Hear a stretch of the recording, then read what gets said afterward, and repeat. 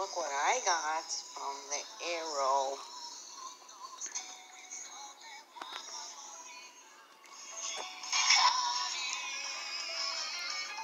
Yes, I got golden experience, which I'm gonna make it into Requiem, which is, you see right there, that's a Requiem arrow. Here we go. Now, if you can see here, you can't see it. Hmm. Wow, what if you can see it? Yes.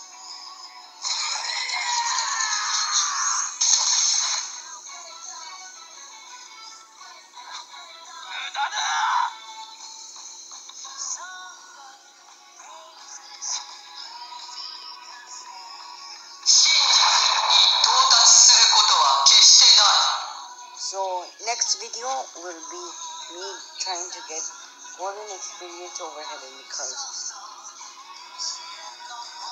Can't see it. Can't see it.